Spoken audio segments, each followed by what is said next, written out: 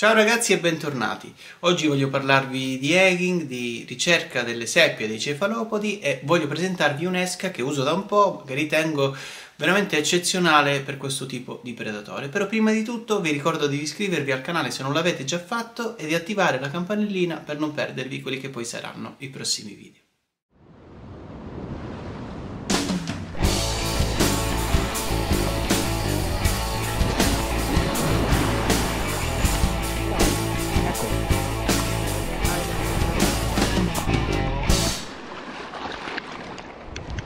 Mia.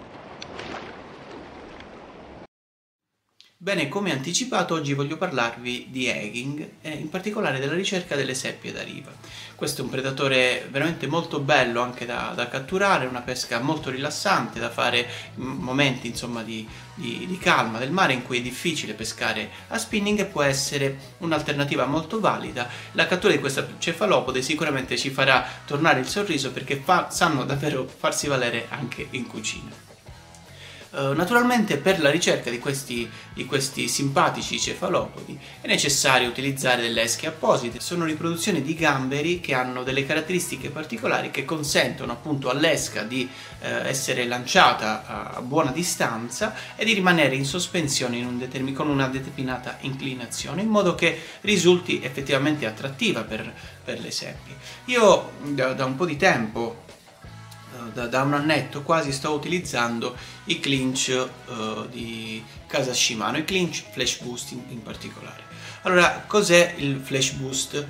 Potete vedere questa lamella, nonostante io tenga l'esca uh, praticamente ferma in mano, continua a muoversi, è un moto perenne e praticamente ritengo che questa questo dettaglio, oltre chiaramente al bilanciamento, al bilanciamento perfetto, al movimento in acqua uh, che eh, risulta molto attrattivo naturalmente per le seppie, queste sono caratteristiche quasi comuni con eh, la maggior parte delle, degli eghi di case blasonate, ma questo flash boost ritengo sia veramente essenziale per la ricerca delle seppie. Perché? Perché le seppie eh, si pescano con un recupero estremamente lento, almeno io le pesco così.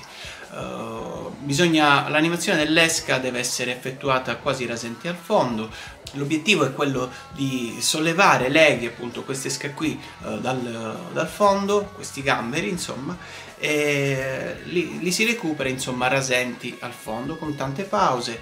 Sicuramente in uno di questi momenti di pausa in cui poi procederemo ad un'altra uh, gigata o comunque un altro movimento di atto ad animare appunto l'esca, il movimento di questa lamella può essere determinante e sicuramente risulta molto più incisivo in questo tipo di artificiale rispetto a esche che magari vengono recuperate più velocemente. Perché nei momenti di quiete in cui l'esca insomma rimane ferma sul fondo con questa inclinazione la, la lamella fa sì che l'esca appaia in movimento, appaia viva e sicuramente può essere un punto a nostro favore. Io ora voglio mostrarvi la prima pescata, il primo tentativo che ho fatto appunto ad Eking con attrezzatura non idonea perché stavo utilizzando la mia canna da ultralight, avevo la canna in macchina, sono arrivato in spiaggia e ho visto che le condizioni erano praticamente difficili da affrontare anche a ultralight e ho pensato uh, di, di, di lanciare un Eki con la speranza che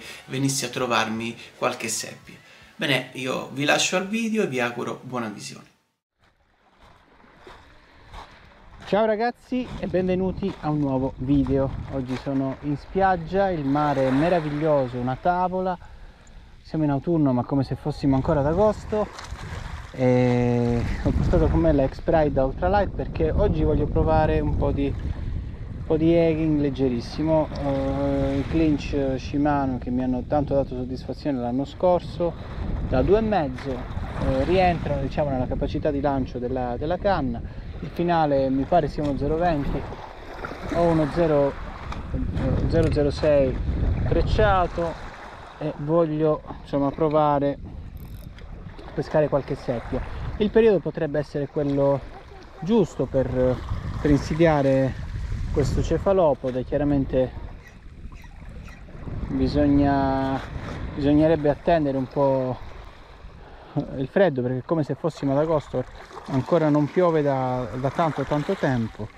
Però insomma il, il mare oggi suggerisce un approccio ai cefalopodi e un approccio insomma con, con, con gli eghi, con questi, con questi gamberi, produzione di gamberi. E vediamo un po' se qualche seppia ci viene a trovare. C'è ancora gente che si, si fa il bagno, o comunque si bagna parzialmente il corpo, insomma il mare è ancora caldo, veramente un autunno anomalo. Noi che siamo spinner vorremmo le onde, il freddo, il vento che ci fende il viso, però insomma quello che viene ci prendiamo e se il mare è così eh, siamo, abbiamo comunque la possibilità di pescare anche le seppie che tanto si fanno valere in cucina, insomma da un punto di vista culinario, prettamente culinario credo siano le prede più ambite, almeno per quanto mi riguarda, anche più dei calamari. E per qualcuno sto, sto, forse sto dicendo un'eresia, però a me piacciono davvero tanto. Nonostante comunque io ne, ne abbia liberato tante, perché poi comunque incide anche la mia inclinazione a, a, a, essere estremamente rispettoso delle, delle specie marine, della, della fauna, della fauna marina. E quindi quando magari riesco a catturare qualcosa anche che ritengo sia sottotaglia nonostante la, la seppia sia eh, presente in gran numero nelle nostre coste tendo a liberarla. Vediamo un po' se oggi riusciamo a trovare qualcosa. Risultano interessanti questi, questi eghi e proviamo a catturare qualcosa di bello e magari se le, se le dimensioni sono quelle giuste ce lo portiamo anche a casa il recupero è sempre lo stesso eh. le seppie io preferisco fare un recupero rasente al fondo con qualche piccola giggata atta a sollevare proprio il, il jig dal, dal fondo poi farlo ricadere attendere un attimo e magari recuperare qualche, qualche metro. Comunque un'azione di pesca che si svolge molto molto lentamente, ciò amplifica chiaramente la percezione che si ha del fondale se l'attrezzo è, è estremamente sensibile come in questo caso. Ora sto pescando con una canna ultralight, quindi potete solo immaginare quanto, quanto sensibile sia. Eh, praticamente mi sta permettendo di contare i massi sul fondo dovesse mai eh, attaccare una seppia la sentirei in maniera molto nitida va bene proviamo sono una zona in cui si incaglia a 7 8 10 metri da riva quindi è meglio evitare un incaglio provare un po' più lontano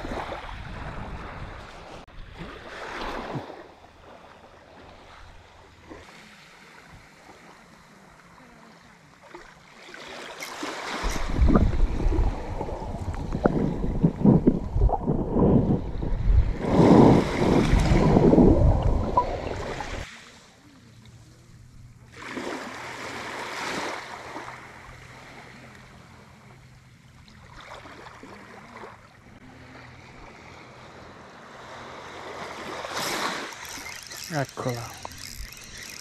Eccola qui l'ho sentita appoggiarsi. Guardate che bello. Con la X-Prime questo è un ultra light egging.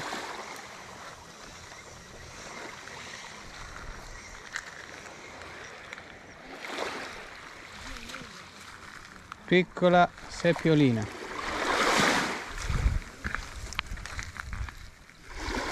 guardate che bella. Chiaramente questa la rilasciamo eh? piccolina però molto bella. Veramente molto bella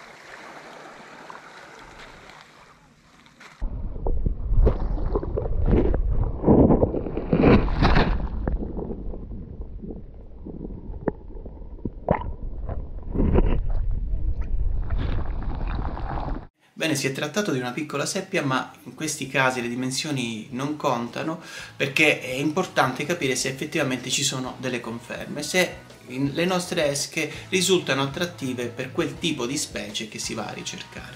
Sicuramente sono certo che eh, lo, lo è già stato sia sulle seppie sia sui calamari molto, molto attrattiva questo tipo uh, di esca e lo sarà sicuramente anche nei mesi a venire, mi consentirà magari di catturare anche uh, pezzi di dimensioni più, più importanti. L'ho utilizzata anche in kayak sfruttando chiaramente la deriva dello stesso e mm, mi ha dato davvero tante soddisfazioni. Fatemi sapere nei commenti che cosa ne pensate, se ritenete anche voi che questo tipo di innovazione, questa lamella che si muove di continuo possa davvero fare la differenza sulle seppie. Penso, penso che almeno su questo tipo di pesca veramente questo, uh, questa innovazione sia determinante. Naturalmente iscrivetevi al canale se non l'avete già fatto, attivando la campanellina per non perdervi quelli che poi saranno i prossimi video Condividete questo contenuto con chiunque possa essere interessato. Vi ricordo che in descrizione ci sono alcuni prodotti, prima fra tutti il mio sito internet. Utilizzando il codice sconto PESCA15 avrete diritto al 15% di sconto su tutti i prodotti presenti in catalogo. C'è il link del mio libro,